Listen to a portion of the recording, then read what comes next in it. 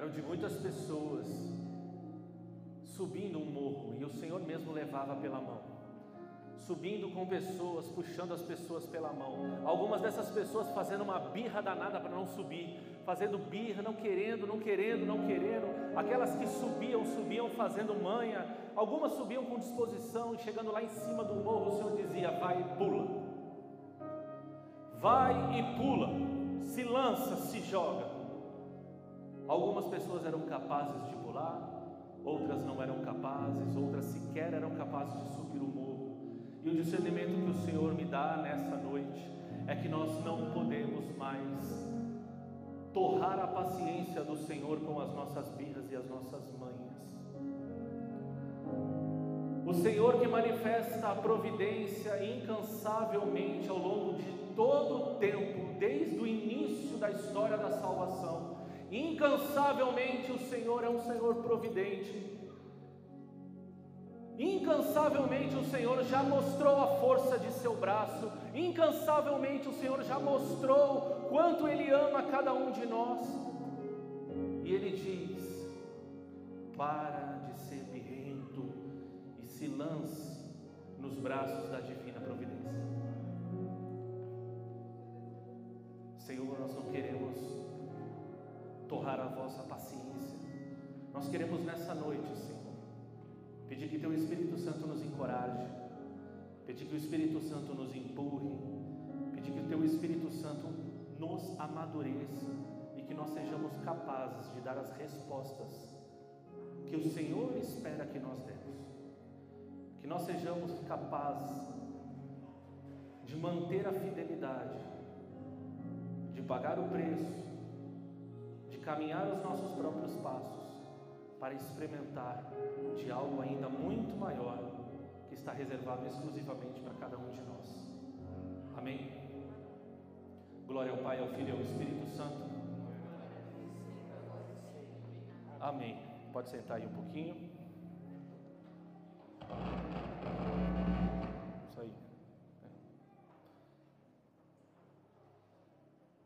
Muito bem, meus irmãos e minhas irmãs, eu sou o Rodrigo, Acho que todos que estão aqui me conhecem. Quem não conhece não perdeu muita coisa, mas eu sou o Rodrigo, sou casado com a Ariane, sou pai de sete filhos, casado há 15 anos quase, e também consagrado nesse carisma que me salva e me santifica.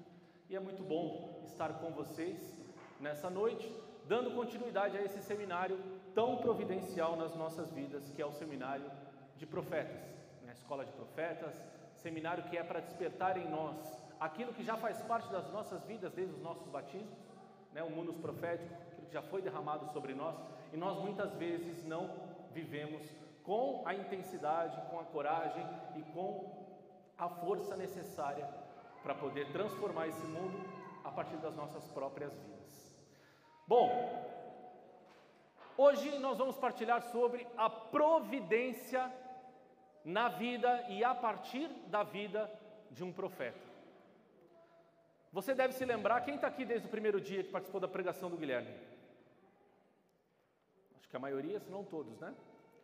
Quem não assistiu ainda, veja a pregação lá no YouTube, para poder contextualizar tudo, mas de modo muito sintético, de fato, né? Uma frase para a gente marcar e abrir essa partilha de hoje é: o profeta, ele é aquele que garante que a vontade de Deus se estabeleça. Um arauto, aquele que propaga e aquele que garante que a vontade de Deus seja soberana, ainda que a vontade de Deus seja desconfortável na vida daquele povo ou na vida do próprio profeta. Você lembra disso? O Guilherme falou bastante sobre isso, né? Sobre a diferença do antropocentrismo, do teocentrismo, ou seja, o profeta é aquele que coloca sempre a vontade de Deus no centro de todas as coisas. Deus é o centro, Deus é o fim último de toda profecia. E, obviamente, de todo profeta. Um profeta é a profeta de alguém ou de algo. E esse alguém ou algo tem um nome. É o nosso Deus soberano, único e verdadeiro. Amém? Então é isso que nós queremos buscar. Todas essas partilhas, todas essas meditações apontam para um fim último: despertar em mim e em você o desejo de se configurar a este caráter profético, se configurar a este modelo profético, porque precisamos ser uma resposta. Afinal de contas, o profeta ele é uma resposta providencial para um tempo necessário. Né? O Guilherme fez lá toda uma, uma reflexão desde o início dos profetas, a escola dos profetas. No final do dia, tudo era um grande movimento de Deus, providencial, como resposta de uma necessidade concreta para aquele povo. E quando a gente fala sobre providência, né, quero abrir essa noite falando algo para vocês. A providência, ela é nada mais, nada menos do que Deus trabalhando para tornar a alma do homem semelhante a si mesmo. Bom, Deus criou o homem e a mulher, todo mundo já sabe, e declarou sobre nós que somos imagem e semelhança dele. Depois de declarar isso, o pecado original entrou, fomos expulsos do paraíso em Adão e Eva e etc. E Deus passa, desde o Antigo Testamento, do Antigo Israel, a todo momento tentando restaurar e recuperar aquilo que foi perdido originalmente. A providência de Deus, quando nós falamos a palavra providência, a primeira coisa que a gente precisa tirar das nossas cabeças é que a providência é algo que vai chegar na minha vida para a minha satisfação pessoal, para satisfazer os meus desejos. Se não satisfaz os meus desejos, não é providência. Se satisfaz os meus desejos, é providência. Tira isso da tua cabeça cresça em maturidade e a partir de hoje entenda que a providência de Deus está sobre tudo. A providência é como uma sombra que em todos os aspectos, em todos os movimentos, em tudo o que acontece, está debaixo da vontade e da providência de Deus. É óbvio que a providência, quando encontra em nós uma resposta positiva, ela ganha potência, ela ganha concretude. Mas nada acontece senão debaixo ou da vontade do Senhor ou da sua permissão. Nada. Deus é o Deus soberano de todas as coisas. Não há uma vírgula que acontece nesta terra e nesse mundo que não esteja debaixo ou da vontade do Senhor ou de sua permissão. Então a providência não é uma manifestação de Deus que vai satisfazer os nossos desejos e gostos pessoais. Muitas vezes a providência de Deus vai se manifestar na minha e na sua vida de forma a nos incomodar, de forma a nos tirar da zona de conforto, de modo a que nós possamos crescer em maturidade de fé para se configurar a esta missão. Vejam, não se esqueça disso. A providência de Deus, ela só existe para voltar os nossos corações para Ele mesmo, para configurar as nossas vidas aquilo que deveríamos ter sido desde todo sempre imagem e semelhança do Senhor. Então, se essa providência ela vai trazer conforto e segurança para cada um de nós, amém. Isso passa pelo desejo do Senhor e a partir desta manifestação de configuração de cada um de nós. Se a providência de Deus ela é uma escassez, ela também serve para que nós possamos crescer, amadurecer e, sobretudo, configurar as nossas vidas à vida dele, voltar os nossos corações ao coração do Senhor. Amém? Pois bem, ao tratar da divina providência, a gente precisa pensar, né, antes de entrar nessa perspectiva do profeta e tudo mais, de que a providência se manifesta no caráter físico, né, no caráter tátil, no mundo em que nós estamos hoje, por exemplo, o ar é providência de Deus, a terra que o Senhor nos dá para nos alimentar é providência de Deus, a chuva, a água, tudo está debaixo da providência de Deus. Ninguém é capaz de subsistir por si só. Neste mundo, ninguém nem nada é capaz de subsistir por conta própria. Tudo só existe nele, por ele e para ele. Então a providência se manifesta em caráter comum, ordinário, nas nossas vidas cotidianas. E a providência também se manifesta numa realidade espiritual e transcendente. Nesta realidade, que eu acabei de mencionar, é uma realidade menos perfeita.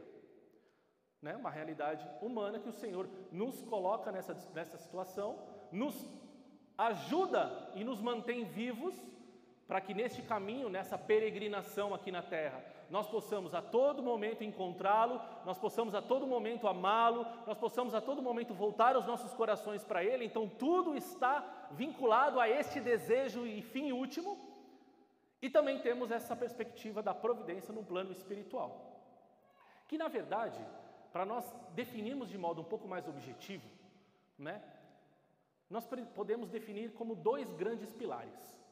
E aí você repete comigo para você lembrar bem: amor, amor. e fidelidade. fidelidade. De novo, amor, amor. e fidelidade. Esses são dois grandes pilares que sustentam a providência de Deus num plano espiritual e transcendente. Porque vejam, se a providência ela é e existe para que nós possamos voltar ao plano de, original de sermos imagem e semelhança de Deus, ela só existe por amor. Ela só existe porque o Senhor nos ama incansavelmente. E o que é o amor? Todo mundo aqui está cansado de meditar sobre isso. O amor é doação, o amor é providente, o amor é imediato, o amor é uma resposta, o amor exige sacrifício, o amor exige, exige movimento, o amor exige atenção, o amor exige, exige todas essas questões que nós experimentamos diariamente, cotidianamente, a partir de Deus para conosco. O Senhor a todo momento, por amor, nos encontra, nos ama, Ele é proativo, Ele que se faz ser encontrado, Ele que se revela na Santa Eucaristia, Ele que se revela nos sacramentos, Ele que incansavelmente, enquanto nós estamos aqui, subsistindo a partir dos, dos meios naturais, Ele nos ama e incansavelmente tenta nos encontrar, nos alcançar, proativamente incansavelmente por amor. E vejam, tudo isso que eu estou falando nós precisamos fazer a conexão e transformar isso também nas nossas vidas, porque se eu quero ser um profeta, eu quero ser aquilo que Deus é por primeiro para mim. Se Deus me ama e Ele é providência para mim, eu preciso ser arauto desta experiência e propagador de um Deus que é providência na vida do outro. Por quê? Primeiro lugar, por amor. Se Deus me ama, eu amo. Se Deus me perdoa, eu perdoo. Se Deus me alcança, eu alcanço. Se Deus se movimenta, eu me movimento. Se Deus caminha, eu caminho. Se Deus se doa, eu me dou. Não há profeta nesse mundo que não haja de acordo e configurado aquilo que como Deus age. E se o profeta é aquele que anuncia o que Deus é, Deus não é outra coisa senão amor. Deus é amor. O amor é pilar fundamental de todos aqueles que querem viver uma vida de profetismo. Ou vocês acham que Elias, quando chegou lá em Querite, quando chegou lá diante do rei Acabe e denunciou o pecado de Acabe, ele o fez para espizinhar gratuitamente Acabe, para arrumar um fuzuê. Ah, tá muito calmo esse troço aqui, vou arrumar uma confusão. Foi lá e falou: vou zoar a bagaça toda, vou chutar o pau, que se lasque, vou. É, vou fazer. Não! A profecia de Elias e a profecia de todos os profetas que nós encontramos no Antigo Testamento e no Novo Testamento e obviamente em Jesus, ela é carregada de amor, de misericórdia, de encontro, de movimento, de proatividade. Ou seja, para que Elias vai lá e faz aquela profecia? Para que o povo volte os seus corações, para que o povo entenda quem é o Senhor, para que o povo abra os seus corações e as suas mentes para serem amados, para serem encontrados. E este é o movimento que eu e você precisamos realizar. Primeiro, numa experiência profunda com o Senhor, e depois assumindo a vontade dele como verdade absoluta e sendo arauto e transmissor desta vontade e desta verdade. Ainda que, como nós aprendemos na primeira pregação, esta profecia recaia sobre mim. Alguma dor, algum sacrifício ou alguma renúncia. Isso para falar deste pilar que é o amor. E aí tem um segundo pilar que é o pilar da fidelidade. Afinal de contas, quando a providência de Deus, que é carregada de amor, nos encontra e encontra em nós a mesma fidelidade que Ele tem para conosco, isto ganha uma potência incontrolável. Porque o Senhor é fiel, todo mundo já sabe. O Senhor não se cansa de ir atrás do seu povo. O Senhor não se cansa de querer garantir que a sua aliança não seja rompida. E o Senhor vai atrás, Ele ama, e Ele ama, e Ele ama, e Ele ama, porque Ele é fiel.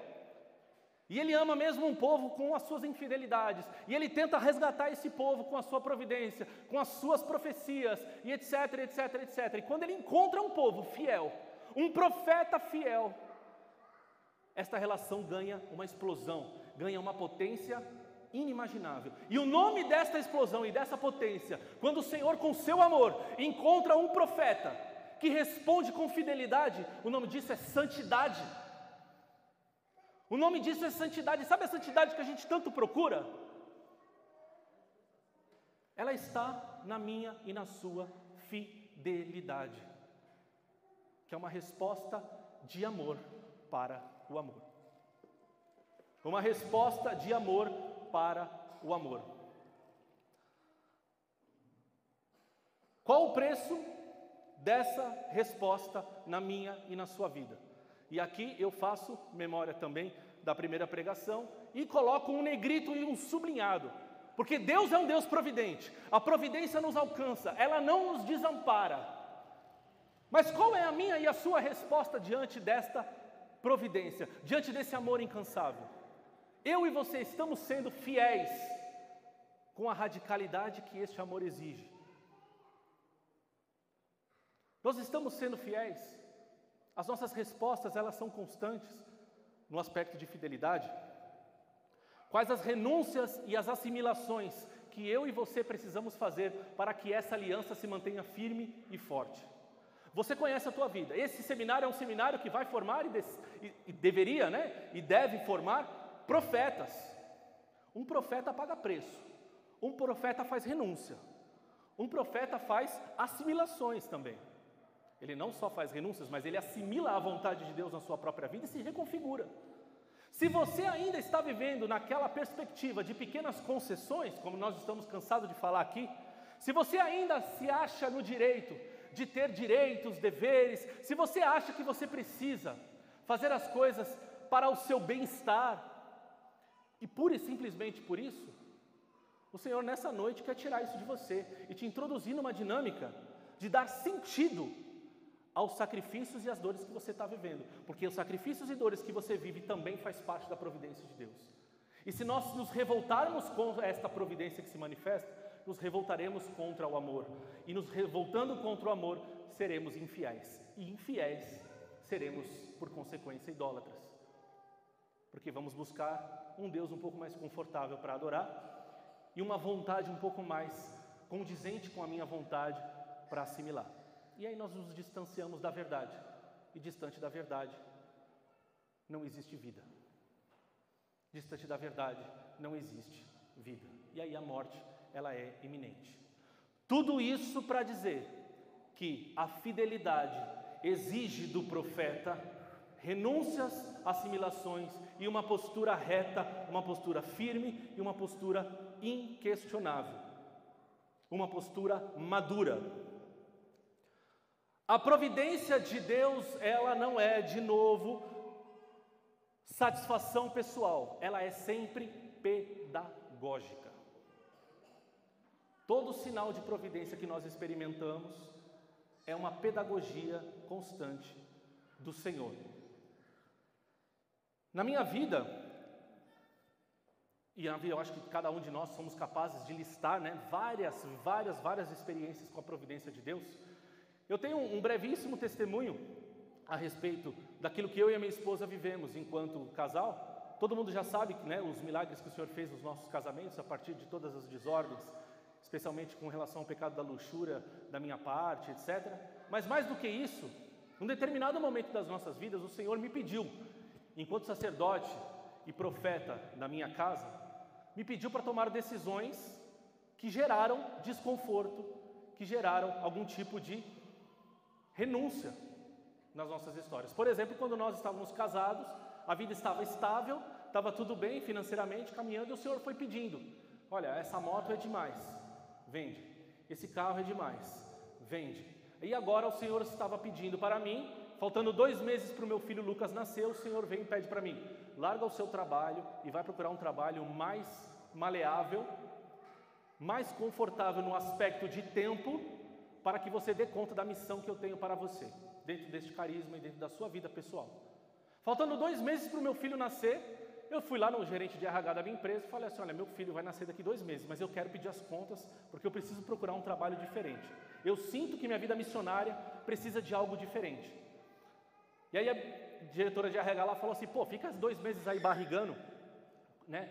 Até que o menino nasça, afinal de contas, aí você vai ficar com convênio, é muito mais confortável, né? Não precisa ir embora agora. Eu falei: não, eu não vou ficar. O Senhor está me pedindo algo imediato. E eu precisei, de algum modo, ser profeta na minha casa. Chegar na minha casa e falar assim: o Senhor está pedindo este movimento. Eu vou sair do trabalho e nós vamos ter o Lucas, sabe Deus onde? Aonde o Senhor nos providenciar. E nos lançamos neste desafio e nos lançamos na mão do Senhor. O meu filho Lucas né, nasceu na Santa Casa, no hospital público, e nós vivemos essa experiência depois de duas experiências anteriores de viver no, aspecto de convênio, tudo muito, com muita segurança, tudo com muito conforto. E aí pode parecer uma estupidez, pode parecer uma loucura, pode parecer uma imprudência. Mas quando nós estamos debaixo da vontade de Deus, os frutos colhidos a partir desta experiência são inimagináveis e são incontáveis. E a viver essa experiência com a minha esposa, o meu filho nascer no hospital público, com todas as dificuldades de sacrifício, foi tirando de cada um de nós, de mim, da minha esposa, muitos penduricalhos, muitos excessos, porque um profeta precisa ser livre, um profeta precisa andar com liberdade, um profeta precisa se mover para muitos lugares, não estou dizendo só no aspecto físico, né, no aspecto espiritual, precisa estar completamente disponível e desapegado.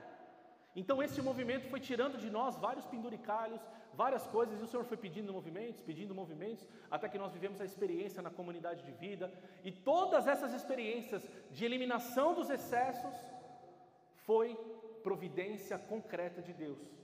Foi, uma, foi viver e tocar naquilo que Deus tinha absolutamente escondido, porque a gente não podia ver os frutos.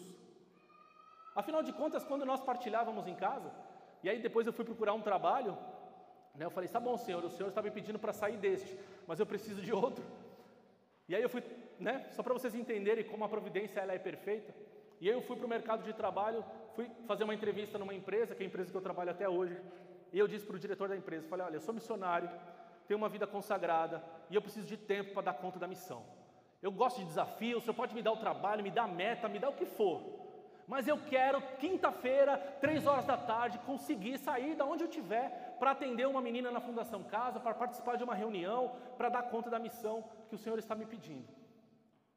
E eu queria saber se é aqui que eu vou trabalhar. Eu trabalho, ele não.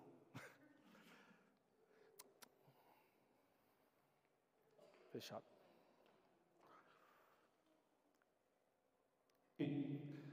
É aqui que eu vou trabalhar ou é aqui que eu não vou trabalhar? E aí o diretor da empresa falou assim: não só é aqui que você vai trabalhar, como eu vou criar um cargo para você, eu vou desenhar um projeto para você, porque eu quero pessoas que cuidam de pessoas dentro da minha empresa. Então, a providência de Deus foi honrando tudo aquilo que era relacionado às minhas necessidades e não honrando tudo aquilo que era penduricalho, que era excessos, que fazia parte da minha vaidade, dos excessos que eu e minha esposa ainda cultivávamos dentro de nós. Ou seja, lançar-se naquilo que Deus está pedindo, viver debaixo de uma profecia, debaixo da vontade do Senhor, é uma configuração nova, uma ressignificação da própria vida e da própria vocação. E nós pudemos experimentar isso concretamente nas nossas vidas. É claro que eu poderia dar muitos outros testemunhos, mas enquanto eu rezava, o Senhor me, me incomodava nesse dizendo: Olha, eu fui providente na tua vida. Lembra que você saiu do trabalho e não tinha trabalho, eu arrumei um trabalho para você? Lembro. Lembra que você estava preocupado com um convênio médico e vocês tiveram um filho no, no, no, sistema público e os frutos que vocês colheram dentro daquela realidade foram incontáveis? Eu falei: Lembro. E o Senhor foi me lembrando, me lembrando, me lembrando. Eu falei: Então conta para eles. Conta para eles, porque eu não me canso de honrar, ainda que a providência seja um incômodo ela é muito mais frutífera do que a gente pode imaginar. Antes de nós abrirmos aqui o nosso texto lá é, em Sarepta, né, no episódio de Elias e Sarepta, é importante que a gente saiba que existe um padrão a ser reproduzido no que diz respeito a o profeta e a providência. Por exemplo, Moisés. Moisés foi um profeta que trouxe a notícia para o povo que estava escravo de que o Senhor era um Senhor que os honraria, que os tiraria deste lugar de escravidão e os levaria para a terra prometida. O povo, por sua vez, ouviu a voz do profeta e viveu e, e fez os movimentos que estavam sendo anunciados pelo profeta pagando o preço necessário, 40 anos de caminhada, de dureza, muitas vezes reclamando, muitas vezes querendo ir atrás das cebolas antigas, muitas vezes né, não entendendo quais eram os movimentos de Deus, e isso é um padrão a ser reproduzido. Muitas vezes eu e você não entendemos quais são os movimentos de Deus a partir das providências da nossa vida. O Senhor está realizando uma obra sobrenatural sobre a vida de cada um de nós. Só que às vezes nós paramos e reclamamos, nós murmuramos, porque nós não sabemos viver o processo e viver configurados aquilo que Deus quer. Queremos aquilo que é confortável para nós. E eu faço memória daquilo que eu falei agora há pouco. A providência não é um caminho para satisfações pessoais.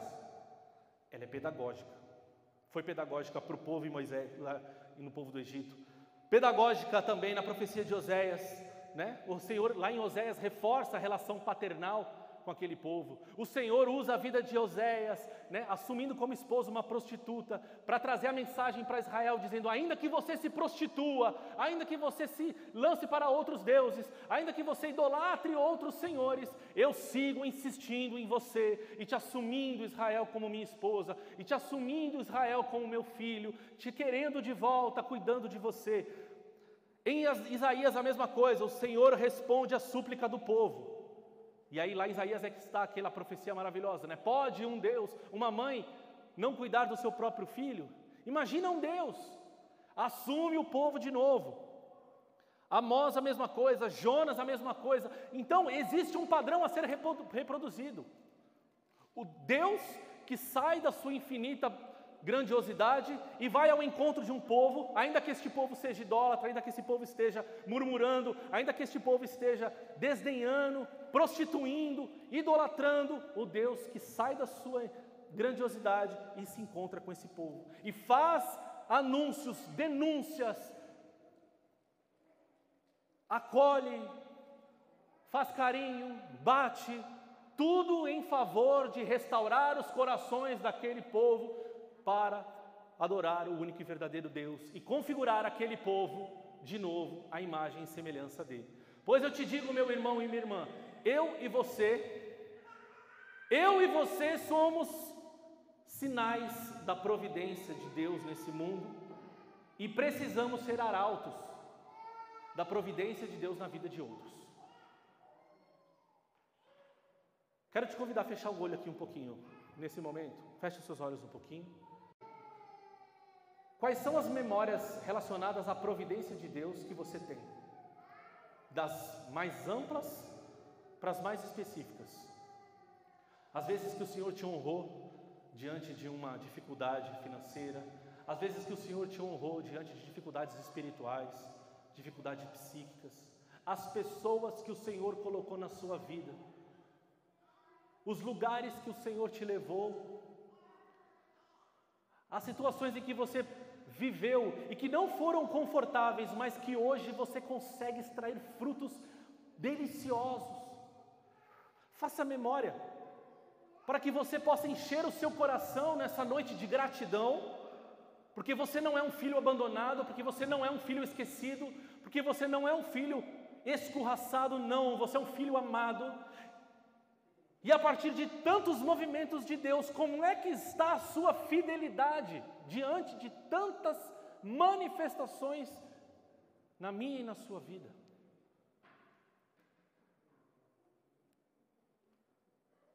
Abre um pouquinho aí os teus olhos, pega a sua Bíblia, então, lá no primeiro livro de Reis,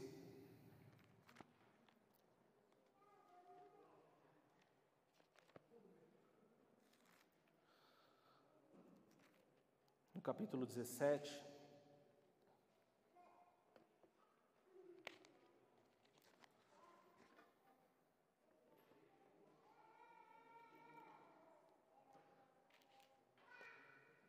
Capítulo 17, a partir do versículo 7. Mas a gente não vai ler tudo, não, porque uma parte dele A gente não vai ler tudo porque você já conhece basicamente o texto, mas eu queria fazer algumas evidências, né? Porque aqui o que, que nós temos? Né? Nós temos, como a maioria de nós já sabemos, Elias que vai a Sarepta. Sarepta, né? Todo mundo também já escutou aqui na pregação do Guilherme, nas lives. Né? Sarepta é uma terra fenícia, uma terra pagã, e Elias que vai realizar o seu trabalho a pedido do Senhor naquela terra, mesmo sem entender o que, que ele encontraria, mesmo sem entender o que está acontecendo na vida dele, uma vida escassa, está debaixo e vivendo os frutos, né, colocando aspas, ou seja, as consequências da sua própria profecia, uma escassez danada, chega nessa terra completamente improvável, porque sim, a providência de Deus, ela sempre atua e tem predileção para eventos e momentos improváveis, né? E Elias chega então nesse lugar e se encontra com a viúva de Sarepta. Então, como nós precisamos nos configurar ao próprio Deus, nós temos a vida do profeta Elias que nos ajuda nesse caminho, porque é o seguinte: Elias é aquele que chega de repente, assim como o Espírito Santo, não se sabe de onde vem, nem para onde vai, Elias chega num tempo providente, realiza os movimentos por amor, busca a fidelidade daquele povo, realiza os seus movimentos de profecia, realiza os seus sinais e segue o seu caminho. Em Sarepta aconteceu muitas coisas que nós podemos entender como movimento de Deus para com o povo, de Elias de modo singular para com aquela viúva e das nossas vidas em relação às nossas dos nossos apostolados, à nossa missão, ao nosso munus profético a partir do nosso batismo. Bom, primeira coisa que eu queria lembrá-los: Sarepta, então, ela é essa terra improvável e isso gera algum tipo de contradição. Então, as contradições que você vive, ou as contradições que existem nesse mundo, que fazem parte do seu contexto, elas são terra fértil para que você exerça o teu apostolado profético, providencialmente. Se o Senhor te colocou, se existe contradição na sua casa, se existe contradição na sua própria vida, se existe contradição no seu trabalho, se existe contradição no contexto em que você está vivendo, a resposta para elas é você. O Senhor quer usar a sua vida como resposta para essas contradições. Nós precisamos assumir isso, e nós aprendemos isso a partir da vida do profeta Elias. E aí nós temos uma viúva, né? O que, que é a figura da viúva? Uma mulher sem marido, de certa forma abandonada, né? uma necessidade absurda de se sentir parte em algum lugar, vulnerável, disponível, completamente desesperançada, esperando a manifestação de Deus, buscando ser feliz de alguma forma, buscando ser amada de alguma forma, com o coração cheio de necessidades e Deus vem e se manifesta através da vida do profeta. E aí eu trago de novo para as nossas vidas, para o nosso contexto. Eu e você somos re respostas também para as vulnerabilidades desse mundo. E o que, que são as vulnerabilidades? São as pessoas que insistem em buscar amor e felicidade onde não estão. Quantas viúvas eu e você encontramos todos os dias nos nossos, no nosso cotidiano? Viúvas que estão aí batendo cabeça, desesperançadas, sem saber para onde vão, sem saber para onde ir, sem saber a quem recorrer, buscando ser feliz da forma que dá, buscando ser amado da forma que dá. E nós somos esses que vão chegar e falar: Pei, você tem um lugar, você é filha, você é amada, você não está sozinha, você não está sozinho. Eu estou aqui para testemunhar para você que existe um Deus verdadeiro. Eu estou aqui para testemunhar e para te dizer que você é alguém especial, você é alguém que nasceu para ser imagem e semelhança. Então converta-se, volte o seu coração para o Senhor e se configure com fidelidade à vontade de Deus. Somos esses, precisamos realizar este movimento a todo momento e não podemos nos esquecer que todos os dias é uma oportunidade concreta e definitiva de encontrar as viúvas que nos rodeiam. Porque se Elias tivesse ignorado a providência de Deus, ignorado a vontade de Deus, essa mulher teria se perdido, teria completa, seria completamente abandonada. E aí nós temos então a figura do filho, que nós também aprendemos e sabemos, era uma esperança, era uma luzinha no fim do túnel para a vida daquela mulher, mas ainda era uma esperança no lugar errado. Era isso que eu estava dizendo agora. As viúvas que estão por aí esperando serem encontradas, estão colocando as suas esperanças e as suas forças em lugares que não são eternos. O filho da viúva, apesar de politicamente, apesar de ser uma esperança no sustento daquela mulher, era alguém que ainda, ainda, ainda existia uma relação de idolatria, de esperança desordenada. Uma mulher que não tinha sua confiança voltada ao Deus verdadeiro. E Deus vai e faz o quê? Elimina aquele filho da vida daquela mulher. Ou seja, o Senhor está pedagogicamente, porque a profecia, porque a providência ela é pedagógica, o Senhor está pedagogicamente ensinando para aquela mulher a sua última, o seu último fio de esperança eu vou tirar, para que você entenda que eu sou o Deus providente, porque eu sou o Deus que vai te trazer aquilo que você precisa, porque eu sou o Deus que vai honrar as tuas necessidades todas. E aí então o filho é retirado. Elias se debruça três vezes em cima daquele homem. Elias é o sinal de Deus, é a resposta providente para aquele tempo. E aí a gente pode fazer várias analogias, né? Elias é a figura de Deus. Eu sei, filho. É doído, mas vai dar certo. Elias é a figura de Deus, a viúva é a figura do povo. Elias sou eu e você. A viúva são esses, essas pessoas que estão aí desesperançosas, desesperançadas, perdão. Nós precisamos assumir essa postura. E Elias chega, se deita três vezes sobre este menino Três vezes, né? Eu pensava sobre isso. Três é um número de união perfeita, né? A Santíssima Trindade é o sinal perfeito de unidade. Elias é aquele que, independentemente dos aspectos políticos, religiosos da época, está disposto a se sacrificar e unir-se intimamente com a dor daquela que está ali sofrendo, custe o que custar, por e com amor, unindo-se de forma absolutamente perfeita, de modo que a providência de Deus se manifesta de forma concreta. Para que a providência de Deus se manifeste de modo concreto e objetivo, eu e você precisamos nos debruçar e nos unir e nos misturar e nos, e nos debruçar como o profeta se debruçou sobre as contradições, sobre os vazios e sobre as dores daqueles que estão perdidos nesse mundo.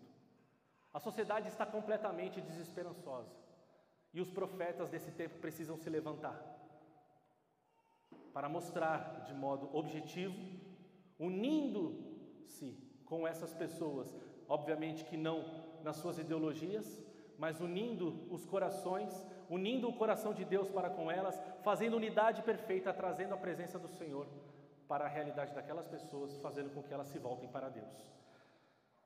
A postura do profeta é a postura do próprio Deus, que não mede esforços para que haja definitivamente uma conversão dos corações. Portanto, meus irmãos, como a gente vê aqui nesse texto, né? Elias chega, a mulher vive todas essas experiências com Elias, experimenta da providência de Deus de maneira muito rápida, né? Porque a mulher, ela experimenta uma abundância no primeiro momento com um pão que não acaba, experimenta uma dor absurda com um filho que se perde, experimenta na sequência uma alegria inimaginável com a ressurreição do próprio filho. Tudo isso, esse gráfico de altos e baixos é uma um evento providencial do Senhor. E nós somos assim, as nossas vidas também são assim. O Senhor manifesta a Sua presença, muitas vezes nos colocando em situações confortáveis, muitas vezes nos colocando em situações escassas, muitas vezes nos dando alegrias, muitas vezes nos submetendo a situações que são tristes. O que, que eu e você precisamos? Extrair os frutos que são próprios da providência de Deus. Um dos pecados mais graves em relação a tudo isso que nós estamos partilhando é o pecado do desespero. O pecado do desespero ele ataca diretamente a virtude e a, e ao, né, a virtude da esperança.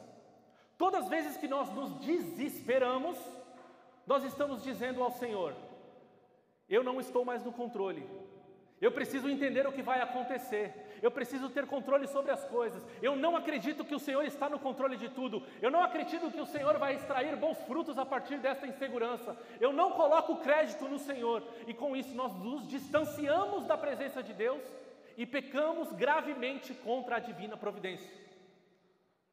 Desespero não é um sentimento bem-vindo no nosso meio, meus irmãos. Nós precisamos erradicar dos nossos corações e das nossas vidas qualquer tipo de sentimento que se aproxime ao desespero, à insegurança, à ansiedade. Está na moda hoje, né? né? Moda, quero dizer, não no sentido pejorativo, mas está disseminado no nosso meio, né? Uma ansiedade absurda. As pessoas estão padecendo de ansiedade. O que, que é isso? É querer viver aquilo que não está no seu controle, que quer, quer viver coisas que não está na sua na, na, na possibilidade de viver imediata. Um, um, medo, ou algum tipo de desejo, ou algum tipo de sonho, coisas que são fantasiosas, tudo aquilo que não faz parte de uma confiança madura. E o Senhor, para que vivamos dessa forma, para que sejamos profetas, verdadeiramente, sinais e arautos da providência, precisamos ser fiéis.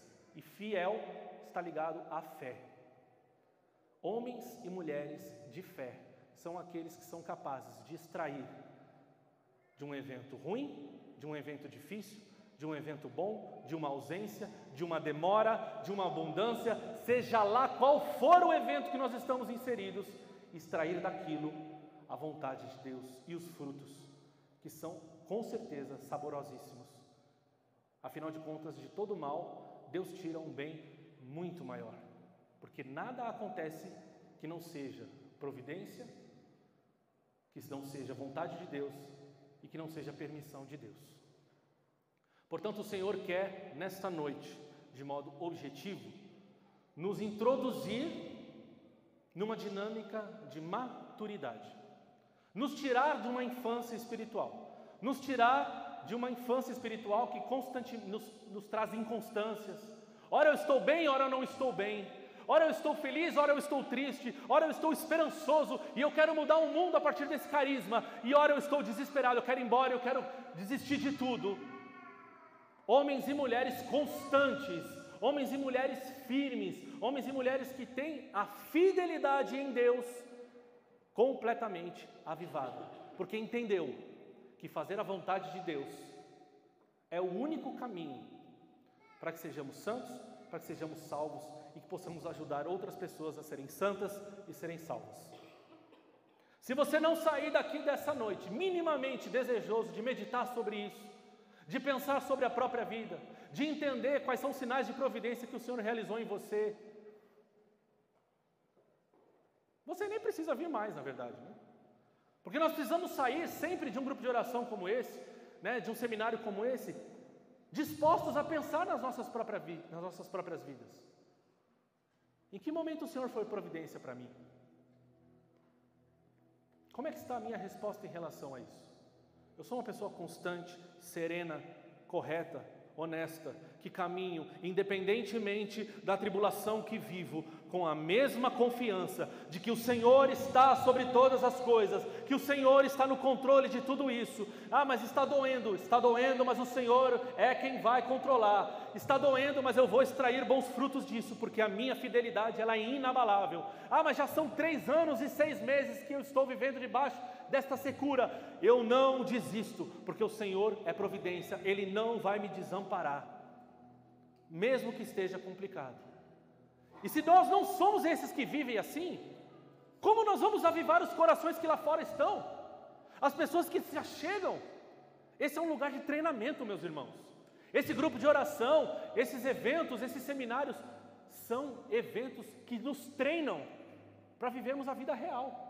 Para quando chegarmos lá fora e encontrarmos dificuldades nos nossos matrimônios, dificuldades nas nossas casas, dificuldades nos nossos trabalhos, nas nossas relações, encontrarmos pessoas que sofrem, nós somos a providência, porque o Senhor primeiro nos encontrou e eu entendi que eu preciso viver com fidelidade, pagando o preço, vivendo retamente, com foco, que não nada me distrai, nada me desorienta, nada me desestabiliza, porque eu estou firmado e confiando na divina providência sempre. Sempre eu estou de olho nela, mesmo que eu esteja vivendo, como eu disse e repito, momentos de instabilidade. A minha vida espiritual não pode se desestabilizar, porque o Senhor está no controle de todas as coisas.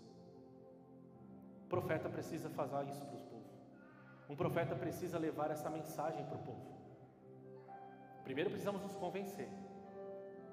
Convencidos, saímos por aí profetizando quem é o Senhor e que Ele não desampara.